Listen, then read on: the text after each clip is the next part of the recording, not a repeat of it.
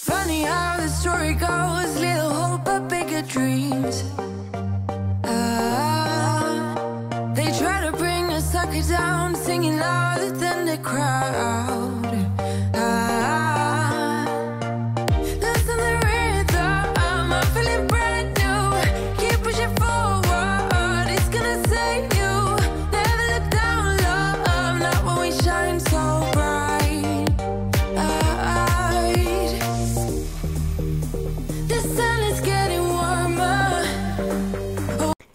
Hello ladies, welcome to today's video. As you can see, we are starting down in the pantry area in our basement.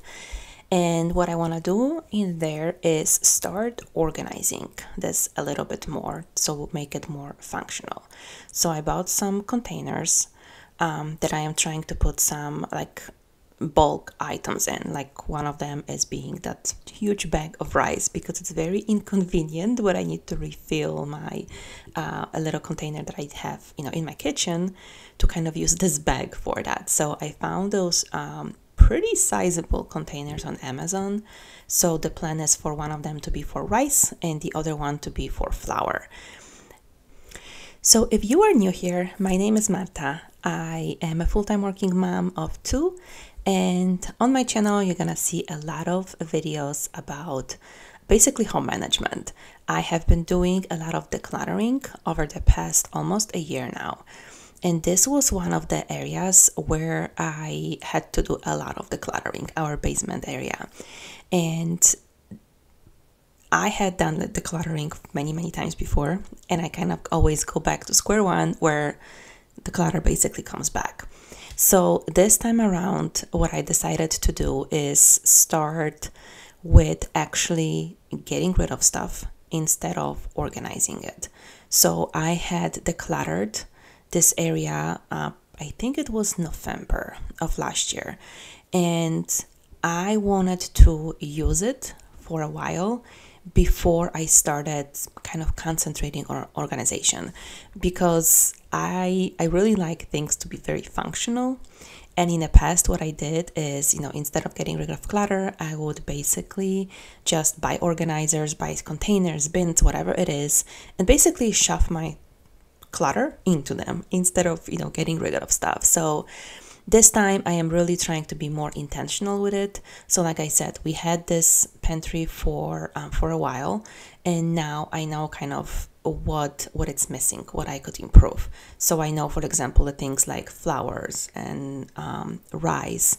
I you know I have a lot of it, and I needed to be more organized so it's easier for me to see and it's also easier for me to refill what I need in my kitchen. So my kitchen is um, on a smaller size and I don't have enough um, storage in my pantry area in my kitchen to have all those, you know, items in there. So I have smaller containers that I need to refill as needed. So this is my solution for it those containers are really great for like the rice and the regular flour. As you can see the box with the flour is pretty empty. It's the one behind um, because i needed to buy it but i know um, i like to buy it at costco and it's a giant bag. So the idea is to um, kind of you know buy a few bins try it out see if if i need to organize it a little bit more.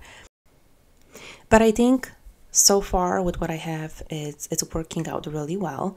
So I had it for a few weeks now. As you can see there is still stuff on the top. It's not meant to be Pinterest perfect. It's meant to be functional.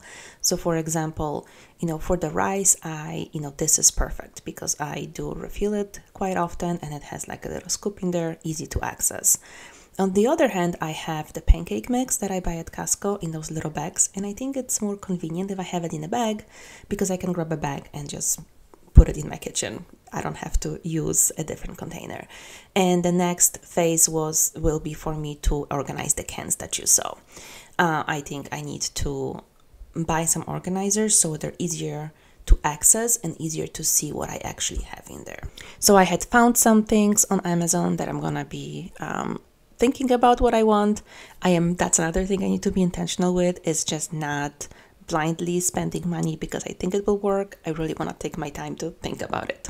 So if you guys have something that you have been using for can organizers, make sure you let me down in the comments below. And as you can see, I moved on to shredding papers because another big project I was decluttering over the last few months was my office, and there was still a lot of paperwork. So there's some of them that needed to be shredded. So I didn't finish that day, but at least I got this process started. let me go now, now, now? Are you saying that to change your mind? For love or pity, let me know now, now, now. Cause your love made me, made me go blind. What am I hearing? Saying you're moving back. When were you gonna tell me that? And then we moved on basically to the upstairs. So this is our playroom slash mudroom. So the kids have started school a week prior. So I'm trying to get into a routine um, of you know checking their backpacks, making sure that um, you know that everything that needs to come out from the backpack is coming out of the backpack. Um, I need to get them into routine of them doing it themselves.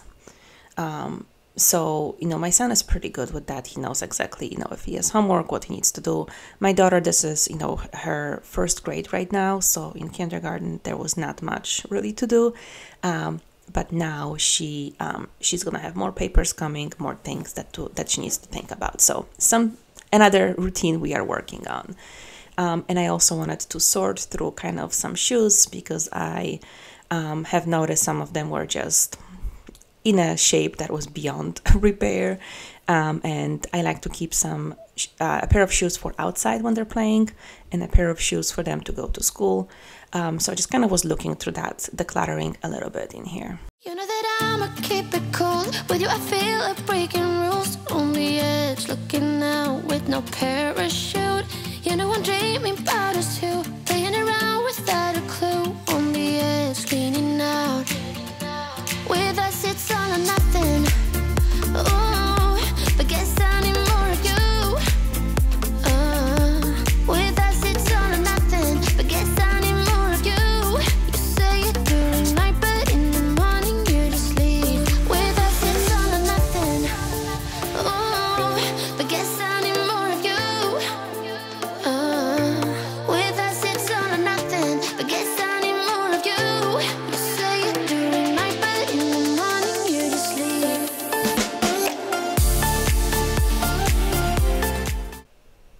This is one of those real life messes areas that I am showing you.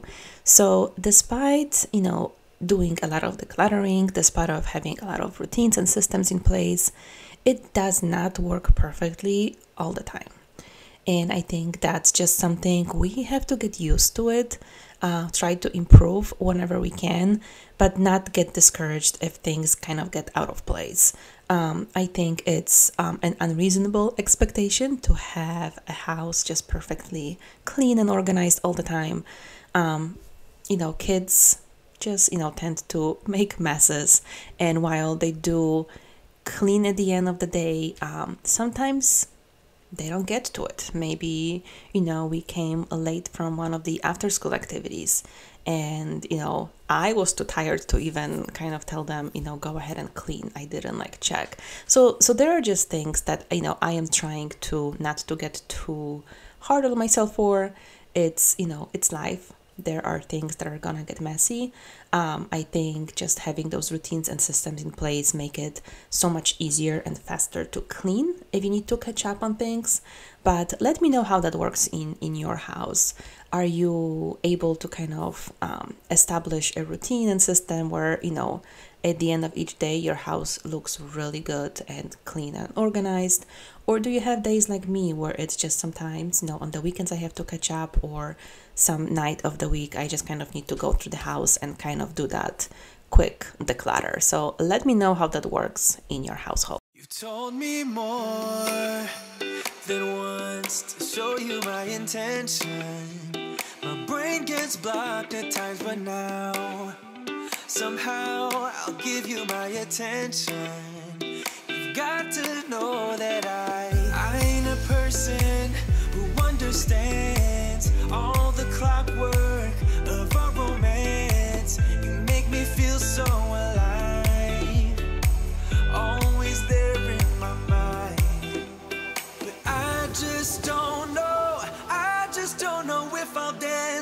lights on. If you're gonna be moving on solo, wait a second, cause they're playing the best song. I'll be there if you reach out to me.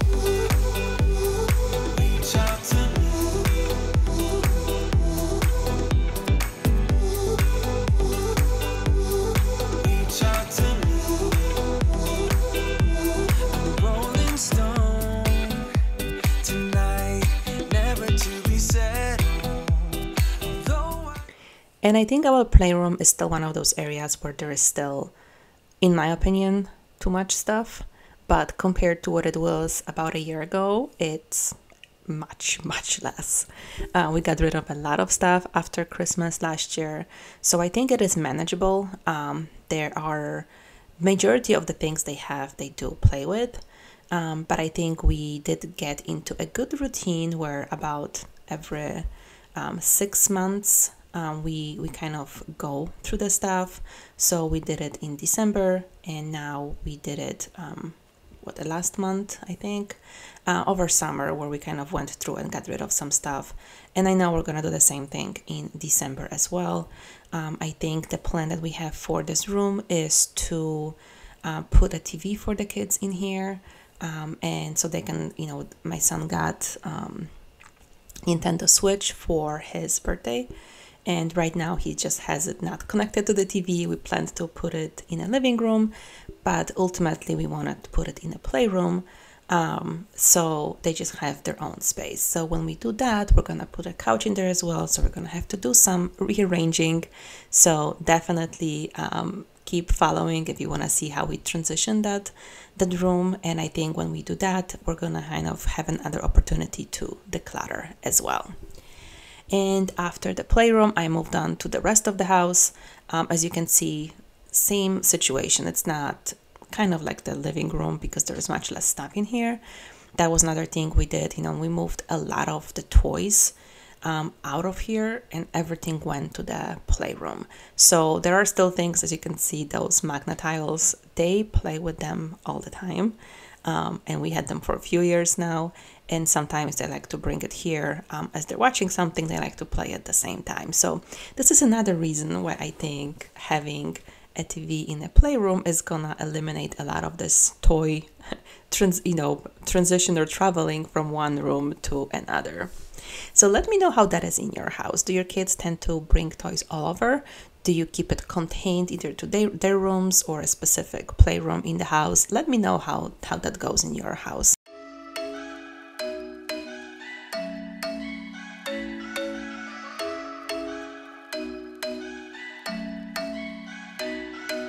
I'm thinking you were made for me. Isn't it my birthday yet? Cause I gotta say, you're looking like a gift for me. Wrapped up baby.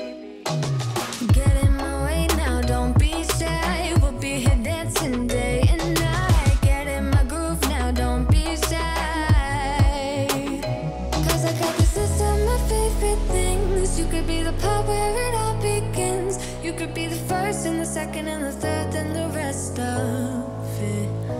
You could be one of the things I love. Sunday morning breakfast with my bedroom door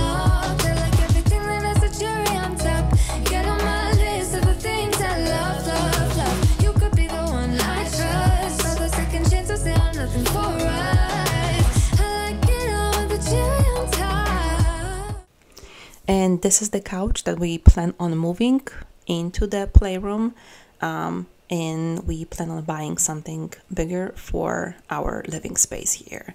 Um, we this one is from IKEA and we had it for many years. Um, I think nine or ten years, and we probably will just buy like the the covers, the new covers for it, um, and we basically are um, buying the same type of couch but bigger.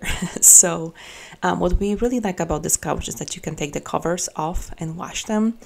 Um, with a dog and kids, there's always a spill, there's always something, and we we just like the idea of putting it into a washing machine and having it cleaned. So I think it's very convenient, and for that reason, that's what we um, are deciding to do for for that room. However, when um, we went and started looking for you know to buy it, um, currently at our IKEA, um, there is basically nothing, meaning everything is um, is out of stock. So we are waiting patiently to see where we can make that purchase.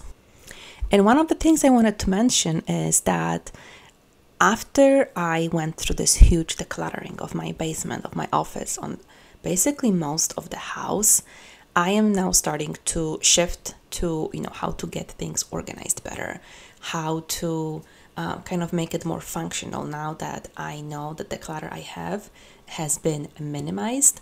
Um, I can start thinking about the organization.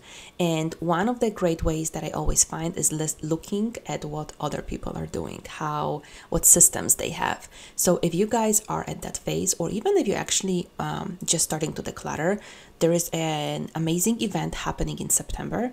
Uh, it's a free event, it's a free virtual conference called Get Organized Headquarters. Um, so I will put a link for you to get a free ticket to it. Um, I'm excited about the conference to learn. I'm also presenting during that conference on time management, which is basically um, how to do all the home um, management stuff so you can um, manage your time better. So, um, definitely, if you're looking for something like that, check it out. It's completely free. They do offer a um, all access pass if you want to keep it for a lifetime, but during those dates in September, it's completely free. Um, so, if you're interested, make sure you grab it down below. But you ain't gazing on someone in denial. Cause you want dollar bills right now. But you